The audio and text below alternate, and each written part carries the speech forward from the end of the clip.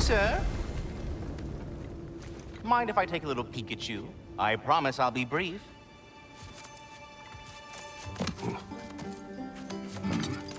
My goodness, what a strapping physique. Capable of an astounding variety of acts of violence, I imagine.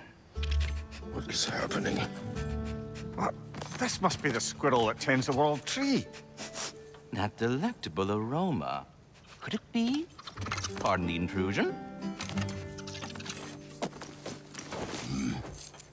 Ah, yes. Amber resin. Delightfully nutty with a hint of squid ink. No. Not one for gastronomic exploration, I see. Wait, if you're Ratatoskr, why are you so different when we summon you for help?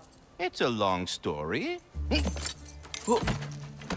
but you are correct. I am indeed Ratatoskr. The one you know as Ratatoskr is merely one of my spectral aspects. And a particularly nasty one at that. I consider him so far removed from myself that he's practically a different person. Speaking of, Bitter, would you like to come out and see your friends? Fuck off! I'm busy!